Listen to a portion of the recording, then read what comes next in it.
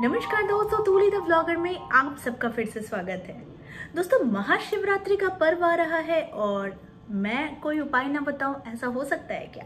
ऐसा कभी नहीं हो सकता। है इसलिए आज का वीडियो आप लोगों के लिए है कि जानेंगे ये टाइम क्या है क्या क्या उपाय करने से हम लोगों के साथ अगर कुछ बुरा हो रहा है तो भगवान शिव की कृपा से हम अपने बुरे समय को भी अच्छे में परिवर्तित कर सकते हैं। साथ ही ये जो शिवरात्रि पर्व है ना, ये इतना खास पर्व होता है, जिसके बारे में आज हम लोग थोड़ा बहुत ज़रूर जानेंगे। लेकिन हमेशा की तरह आगे बढ़ने से पहले चैनल को सब्सक्राइब कीजिए, बेल बटन को दबाइए। वीडियोस अच्छी लगती है तो लाइक, शेयर एंड कमेंट करना बिल्कुल भी मत भूलिए। दोस्तों, फरवरी का महीना शुरू हो चुका है। हर महीने की तरह इस महीना में भी बहुत सारे अहम व्रत है, त्योहार है जो हम लोग मनाते हैं। लेकिन इनमें से सबसे अहम अगर कुछ है ना तो वो है महाशिवरात्रि। यानी कि ये पर्व है जो कि हम लोग पूजा अर्चना करते हैं। ये हिंदू धर्म का खास एक महत्व रखता है और ऐसी मान्यता भी है कि भगवान शिव की पूजा अर्चना करने से हर मनोकामना पूर्ण होती है। खास करके जिनकी शादी नहीं हो रही है, शिक्षा में प्रॉब्लम है रिलेशन में प्रॉब्लम है, इस तरह की अगर कोई प्रॉब्लम्स होती है फाइनेंशियल प्रॉब्लम्स भी होती है तो भी हर मनोकामनाएँ पूर्ण होती है। इसलिए लोग इस दिन को व्रत ज़रूर रखते हैं। भोलेनाथ के मंदिर में जाकर भगवान शिव पर जल चढ़ाते हैं, पुष्प अर्पण करते हैं। ऐसे में आज मैं आप लोगों को बता रही हूँ कि महाशिवरात्रि आखिर है क्या? पूजन का समय क्या है? ठीक है? तो देखिए, महाशिवरात्रि 21 तारीख को शाम पाँच बजकर बीस मिनट से शुरू हो रहा है, जो कि अगले दिन, यानी 22 फरवरी दिन शनिवार है, जो शाम सात बजकर दो मिनट तक ही रहेगा। ठीक है? रात्रि प्रहर की पूजा शाम को छह बजकर इकतालीस मिनट से रात बारह बजकर बावन मिनट तक ही होगी। अगले दिन सुबह मंदिरों में भगवान शिव की विधि विधान से पूजा की जाएगी। आपको ये भी बता देती हूँ कि हर महीने कृष्ण पक्ष की चतुर्दशी के दिन आने वाली शिवरात्रि को सिर्फ़ शिवरात्रि कहा जाता है। लेकिन फाल्गुन मास की कृष्ण चतुर्दशी के दिन आने वाली शिवरात्रि को महाशिवरात्रि कहा जाता है। तो साल में होने वाली बारह शिवरात्रियों में से महाशिवरात्रि जो है, वो सबसे महत्वपूर्ण मानी जाती है। तो चलिए आगे बता देती हूँ कि क्या वो छोटे छोटे उपाय है जिसे करके आप भी अपनी प्रॉब्लम्स का समाधान कर सकते हैं। चलिए। तो महाशिवरात्रि के दिन हम भगवान शिव को क्या क्या अर्पित करें? तो देखिए, महाशिवरात्रि के दिन आप भगवान शिव को रौली, साबुत चावल, लौंग, इलायची, सुपारी, जायफल, हल्दी केसर, पंचमेवा, मौसमी मौसमी फल यानी कि नाग केसर, जनऊ, कमलगट्टा, सप्तधान्य, सफ़ेद मिठाई, नारियल, कुशा, अबीर चंदन, गुलाब, इत्र पंचामृत कच्चा दूध, बेलपत्र, बेल फूल का पत्र, गुलाब के फूल आँख का धतुरा, भाँग, धूप, दीप आदि अर्पण ज़रूर कीजिए। ये सारी चीज़ें जो होती है ना, ये भगवान शिव को काफ़ी प्रिय होती है। अब मैं बात करती हूँ कि शिक्षा के क्षेत्र में अगर बहुत सारी प्रॉब्लम्स आ रही है आप लोगों को, पढ़ाई में मन नहीं लग रहा है रिजल्ट्स अच्छे नहीं आ रहे हैं तो ये उपाय आप लोग ज़रूर कीजिए। तो शिवरात्रि के दिन सुबह के समय भगवान शिव को दूध मिश्री मिलाकर जल अर्पित ज़रूर कीजिए।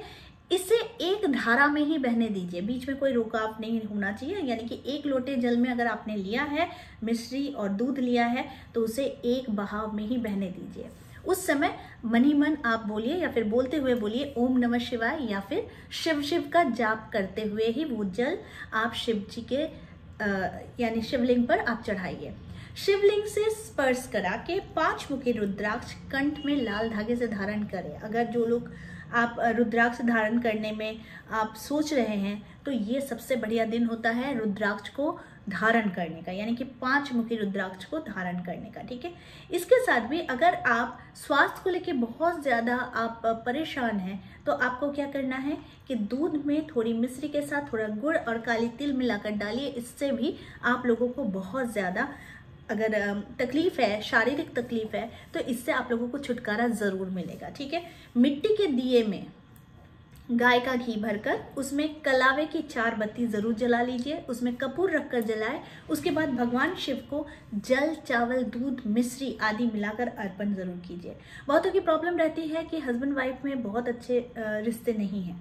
तो उस दिन एकदम सुबह सुबह हस्बैंड वाइफ मिलकर अच्छे स्वास्थ्य और लंबी आयु के साथ साथ अपने घर में धन धान्य की वृद्धि के साथ साथ सुख शांति के लिए भी आप इस उपाय को ज़रूर कीजिए। वो है कि शिवरात्रि के दिन चांदी के लोटे में जल को भरिए, शिव का अभिषेक कीजिए, ठीक है?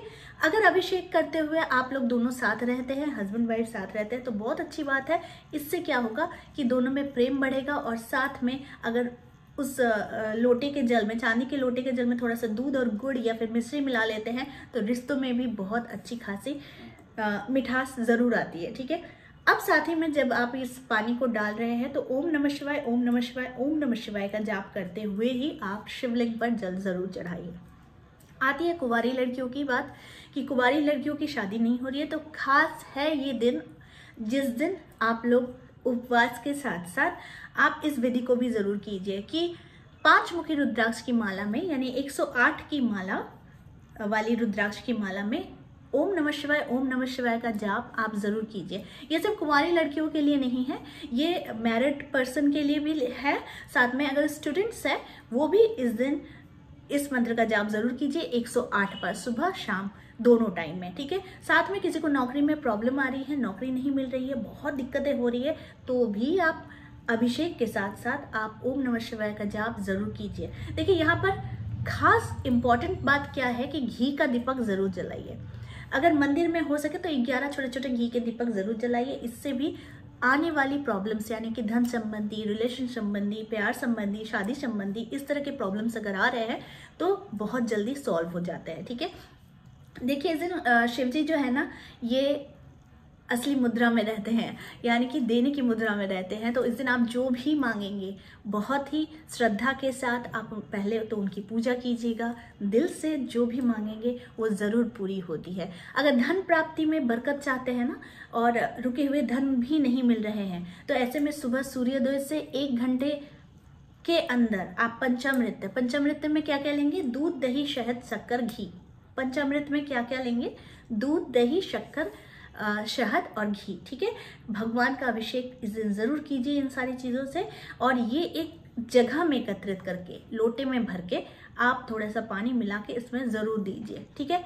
इसे अभिषेक करने के बाद आप देखेंगे कि बहुत जल्दी आपका रुका हुआ धन अगर है तो वो लौटेगा साथ में। ओम पार्वती पते नमः का 108 बार जाप भी ज़रूर कीजिए। अगर ये प्रॉब्लम है तो ओम नमः शिवाय का 108 बार जाप सुबह 108 बार शाम को ज़रूर कीजिए। साथ में अभिषेक करते समय ओम नमः शिवाय या फिर शिव शिव शिव शिव कहते रहिए। अब बात आती है बहुतों की संतान नहीं हो रही है, प्रॉब्लम है। तो पति पत्नी मिलकर शिवरात्रि के दिन शिवलिंग पर गाय का शुद्ध घी ज़रूर डालिए।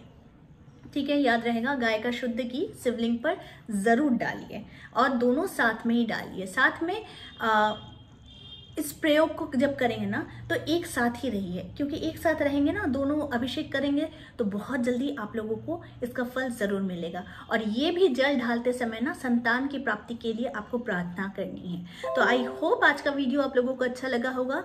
ये महाशिवरात्रि का उपाय है ज़रूर अपनाइएगा मन से कीजिएगा।